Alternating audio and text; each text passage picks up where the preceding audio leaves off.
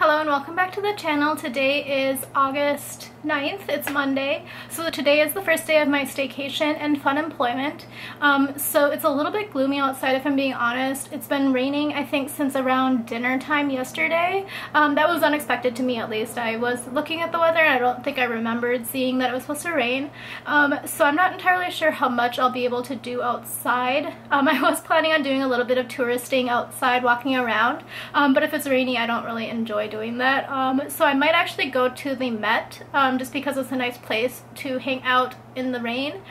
And I also get in for a dollar. So I do recommend that if you are a um, New York City resident that you get the ID NYC. You can get actually free memberships for a year at many different institutions around the city. Um, but the thing is, is you can only use it one time for one year free um, within a five-year period. I think that's what it is. Um, so I've already used it at the Bronx Zoo.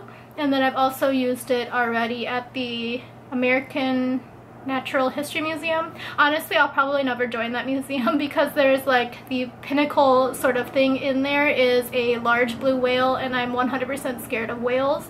Um, so the fact that it's like the central point of everything at that museum means that it's not a great museum for me personally. Um, it does have a lot of dinosaurs and things like that. I think my parents really enjoyed going there when they visited one time because I was at work and they went to many of the museums.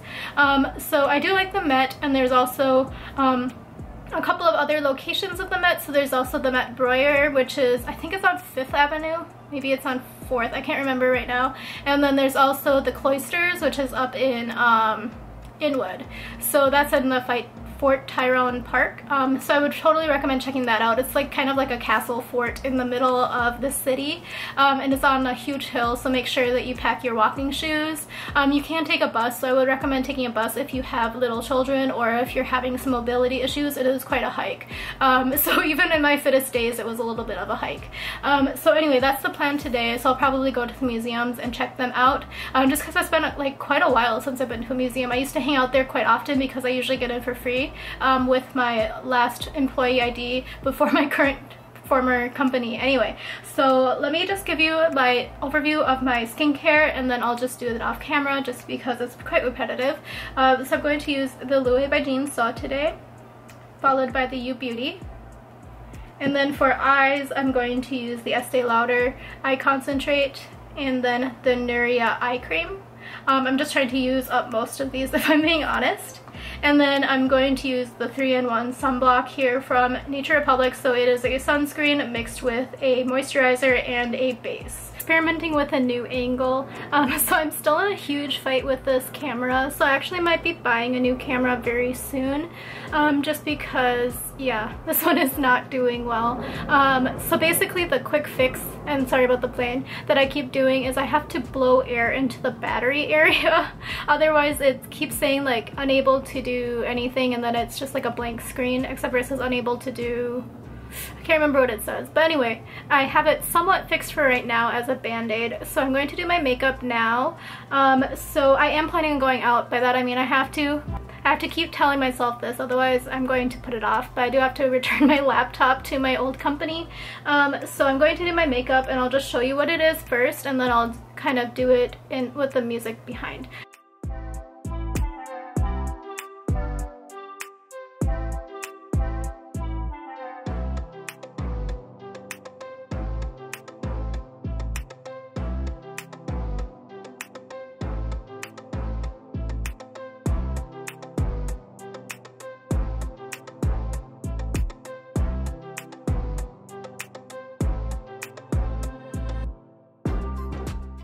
So it kind of sounds like there's only a slight difference between kids having a good time and kids being in danger because some of these screams out here are sounding like danger but I'm thinking I think they're playing. Um, so yeah, that is the look for today. I might throw on a lipstick, so let me try it out. Um, so I think I'll try out this um, Victoria's Secret one again. I really don't think that people ever pay $14 for lip product from Victoria's Secret, but I might be completely wrong about consumers. Okay, so that is not the right color for today's look, so um, I'll probably remove it. Um, but this is going to be the look minus the mouth, and um, I will take you along with me when I go out. Again, I will be going probably to Midtown. I was kind of thinking about going to Brooklyn, but I think that's a little bit ambitious. Um, but we'll see where the day takes me. Um, it is still it's still pretty gloomy outside. I just took a look, um, so I don't know if it's gonna rain. So let me check the weather actually. So it does say it's drizzling and then it looks like it's going to be in like the 90s all week, so yay! um, so I don't know if that might take a little bit of a um, damper on my plans just because I don't like going outside when it's hot. Um, so yeah, I'll probably go to Midtown and then I think I was talking about going to the Met, so I still might go to the Met. So that's the plan at least. I was filming my what I think about my skincare I'm currently using video and time got away from me so now it's lunchtime and I really have to run to FedEx after this um, so I have my leftover pasta from a couple of nights ago and then I opened a new container of guacamole from my three pack from Costco and I have the jalapeno lime late July tortilla chips.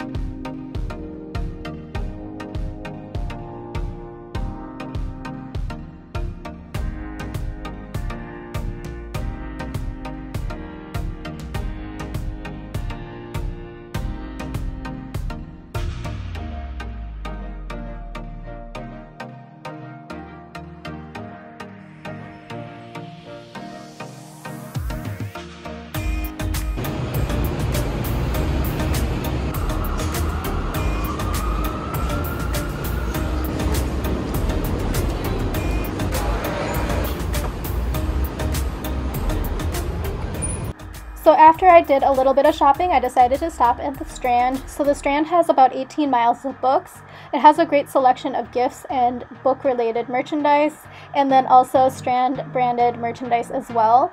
The um, curated collections are also great. Here are some board games. And then I also wanted to show you that they have a lot of book pins. So if you have any book lovers, this might be a great place to buy some unique gifts. And then I also wanted to show you, I thought this wall of socks was super cute, especially the Where the Wild Things Are sock. I thought that one was super cute.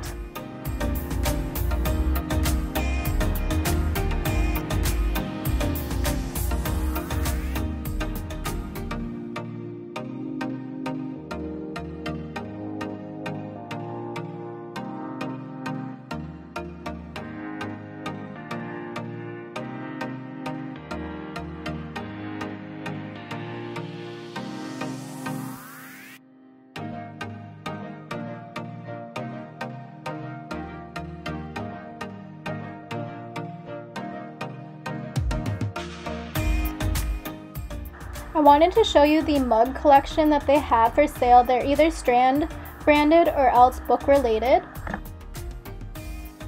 Over here are all of these stationery supplies including journals, cards, any kind of paper related gifts.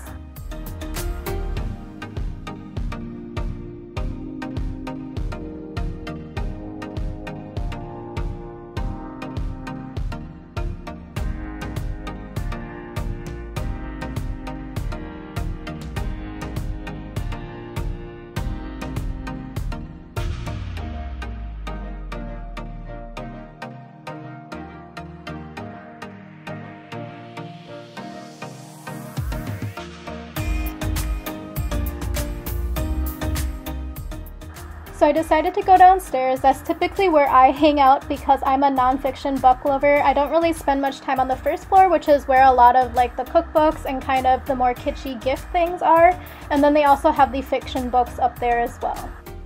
If you are a musician, this is also where you find sheet music, um, vinyls, anything like that. Music related books are on the basement level.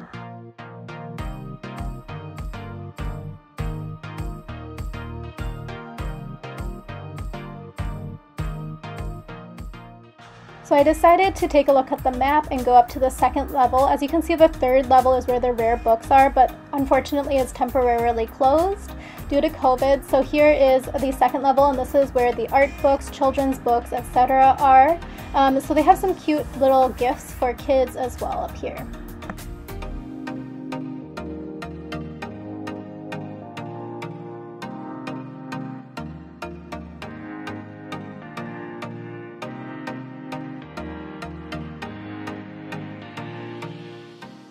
So I'm showing you some of the rare books they had featured on this level, but I also wanted to point out that they do a really great job curating New York specific books and gifts. So if you are just visiting and you want to pick up some New York specific items, this might be a great place to check out. The hobby section always gets me. So this Peanuts book was super cute and I almost considered buying it, but it looks like you had to use the specific paper in the back, which is why I ended up not purchasing it. But then I also briefly considered this hobby Towel Folding 101 was such a funny book. I've never even thought about that as a hobby before.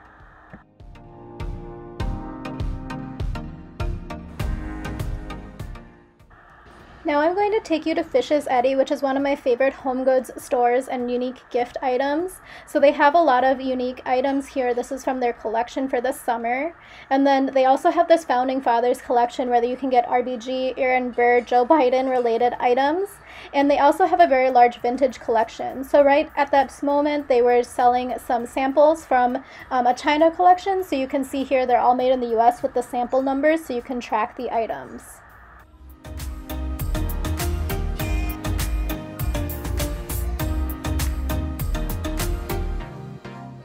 In the back of the store, they were featuring this pet portraits from this local artist. I've seen this artist's work, I believe, at Chelsea Market in the past. Um, but they had some unique items here, including the pigeons of New York in each neighborhood, and then some stamp blocks which had um, the very specific New York landmarks on them.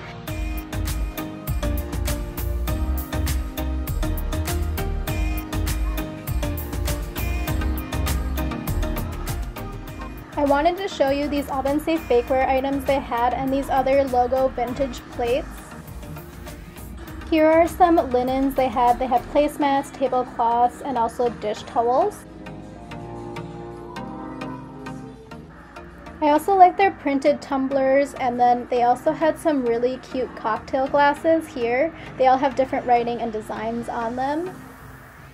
Here are some New York specific eco totes and tea towels.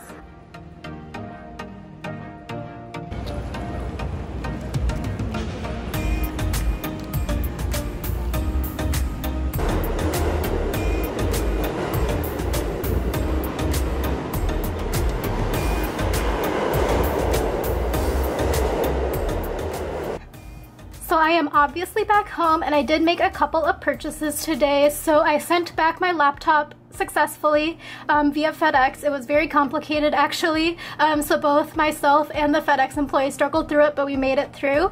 Um, so one recommendation I do have that if you do have to do that same thing, make sure you keep your box from the um, equipment when you receive it. So as part of my low buy, no buy, probably for the past two and a half to three years, I have been wanting to save up to buy a new camera. Um, so the one I have now is a Sony Alpha, I think it's like 5100 or something like that. It is very old at this point. I think it was manufactured maybe in 2014, so it's been holding on for quite a long time. So I've been researching my camera options for the past few years, and I've been trying to decide between like a still camera or one that takes videos. Since my Sony still takes pretty good still photos, it's just having difficulties with videos, um, I decided that I would want to focus a little bit more on video since I'm having a lot of fun doing vlogging and stuff. Um, I just want to have the option of vlogging on a camera rather than my phone. Um, so I decided to go with the DJI Pocket 2. Um, so I bought it at the Union Square Best Buy, so let me show it to you. And I just realized I forgot to buy an SD card. It was such a cluster in there. So there were like 40 people trying to buy cameras and then 10 of us were at the DJI stand so I forgot to buy a SD card. So maybe I need to go out to Best Buy later so I can get my 10% cash back for that purchase as well. Um, just because I didn't even hold this. They were like super duper protective of it. They wouldn't even let me look at it to make sure I got the right thing. And then on top of it, there was me and this Korean couple and they thought we were all together and they kept trying to charge us all together and I kept we kept all saying like we don't know each other. Like stop trying to give us each other's things. And then they bought their thing and then they handed me the drone and I was like I still don't know them and that's not my thing. Anyway so uh, racism is alive and well here. So I did go with the creator combo so I think it's a pretty good deal. And this is what is included in the creator combo.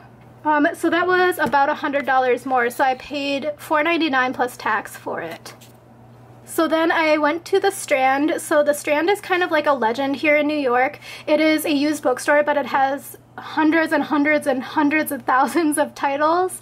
Um, so basically anything you would want you can find. So I ended up picking up just one book. I looked at so many. I'm sure you saw in my vlog. I looked at so many different sections. I kind of looked at everything except for that the rare book room, which is where I really wanted to show you, is actually closed right now because of COVID. So I couldn't show you in there, but you can shop it online. Um, so I'll try to remember to link below. But I bought a Business Companion Japanese book. Um, I had this problem where I pick up a bunch of language books with the intention of learning how to speak the languages, but I just never do. Um, so I have like multiple books about learning Spanish, I have multiple books about learning French, and then I have multiple books about learning Japanese, Swedish, Danish, and Norwegian. Um, so one of these days I'll get around to it, but I figured I should pick this up because um, when I was interviewing at my new job, they did mention that there are quite a few Japanese projects, and I don't speak any Japanese, even though I have lived there. Um, so I thought this was a good option. It was also um, pretty inexpensive, so I paid only $6.50 for it, and it is um, list price is $12.95, so I thought this was a good option. And then after I finished at the Strand, I wanted to show you Fishs Eddy.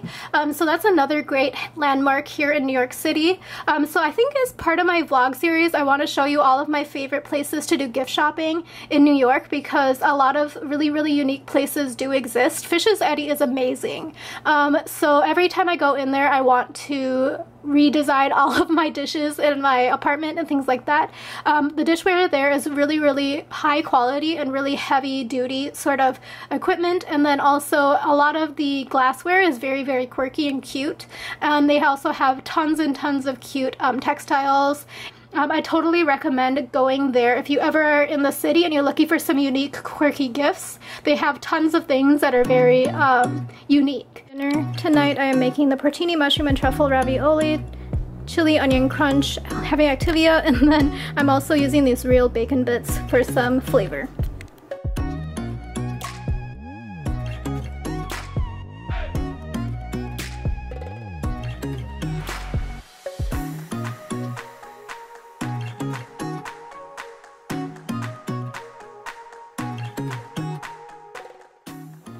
For today super simple just because I need to run to go before the Best Buy closes. Um, so this is just the Trader Joe's ravioli with the chili lime, no, chili oil, chili onion crunch, that's what it is, and some bacon bits. And this is just going to be dinner for today. Um, when I was making it, it kind of looked like wontons, so I realized I was kind of craving wontons. So hopefully it, it tastes similar.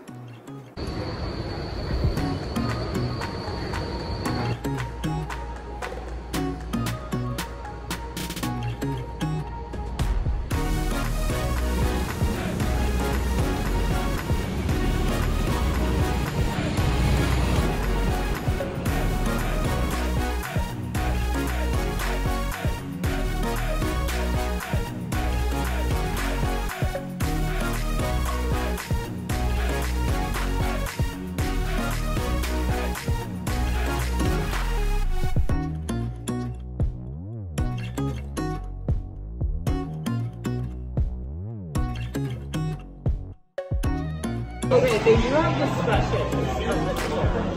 But do you think they have a...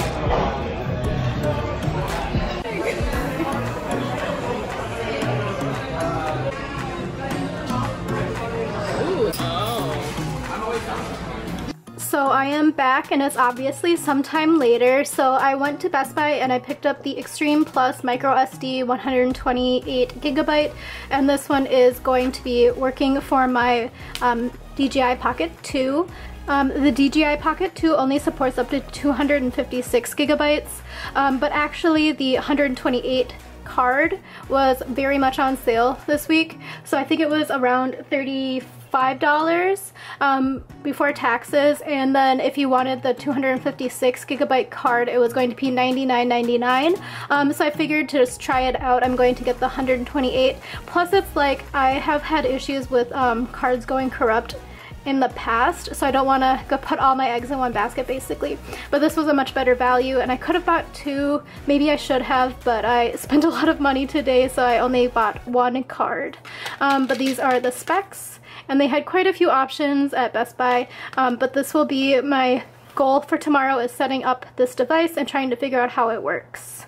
So this is obviously the end of the night, so obviously my plans did not go according to what I had set out in the morning. I did not go to the museum, obviously, um, but actually I had a really great day. I did a lot of errands, and then I actually met up with a friend uh, kind of spur of the moment when I was going to Best Buy in the evening to pick up the SD card. Um, I texted my friend to see if she wanted to go out for desserts. Um, so I'm actually not a dessert person, and I gave the option of dessert or bubble tea, um, but my friend is a very much a dessert person, so um, we both decided to go to the Smith um, which is a restaurant and I think that it's actually a chain because I think I've been to the one in DC as well. Um, if you are visiting or you have a house here, um, they also have a really great delivery service these days. It started during 2020 um, where they will actually bring the restaurant grade ingredients and deliver it to your house. So if you want some really high quality meats and seafood, that might be a good option for you. They also have um, some like uh, prepared foods that you can just pop in the oven. Um, so that's a great option too. Um, so I actually spent a ton of money today, um, but that is kind of the point of my low buy no buy is to always have um, money where I'm not kind of stressed out about it if I wanted to make a big purchase. So um, as I may have mentioned, I was kind of planning on buying a camera for the past couple of years now, um, probably since like 2018 or so, just because um, my Sony has always been a little bit, it was never like in season. It was kind of the older model when I did get it as a gift. And then since since then there have been many many new iterations of that Sony camera. And I do like the Sony cameras but I was kind of and still kind of am a Canon person. Um, so I was kind of trying to figure out if I wanted to go back to the Canon line. Um, but since I'm really enjoying doing this as part of my creative outlet, I'm not really that much of a creative person, but this has been kind of fun to document my life. Um, so I did decide to get the DJI Pocket 2 um, just because this is something that I've been looking at because I was also looking at the action camera, what's it called, the GoPro. I kind of wanted to buy a GoPro maybe I think it was like in 2019 um, because I was going to take it on vacation with me, but I never made the purchase. But I do think that this is a better camera from what I've been researching than the GoPro is, so I will definitely let you know how I think about it. Um, so this is the task for tomorrow morning, and then I'm also for sure I'm going to follow through with my plans. Um, maybe not my lunch plan because that was just like solo lunch, um, but my plan tomorrow is to meet up with one of my friends in Queens to go to the mall um, just because she's never been to Daiso before and I want to take somebody to Daiso for the first time. Um, so anyway, let me just get started here on my skincare. I'm kind of amped up on sugar. I'm not really a dessert person, so that sugar was like over the limit for me. Um, so let me just get started here. So I'm going to use the typical skincare, so U Beauty, followed by Innisfree, and then I've been noticing that today my um, under eye like lines are kind of strong, so I think it's because I did not like the combination in the past couple of days. So I'm going to go back to the typical one with the Beekman and then the peptide cream. Um, so that's the plan for tonight and I will check back in with you tomorrow. Um, but I think this is going to be the end of today's vlog because I did do a lot of stuff today. Um, so this is probably the most active I've been in the city since maybe, maybe honestly like November 2019.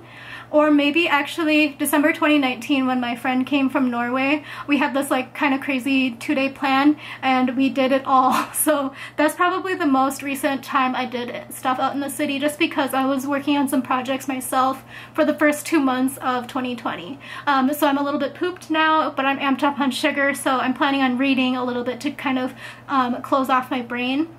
Actually, let me tell you what I'm reading these days. Um, so it's not really reading as much as um, listening to the audiobook, but let me pull it up on my app. So I'm currently listening to The Making of Asian America by Erika Lee, and this is actually a really, really, really well written and well researched book. It's really in detail about all of the different Asian kind of populations and how they came to America and how they were discriminated against, etc. So I did take Asian American history in college and this book is like really going more in depth about each of the different populations.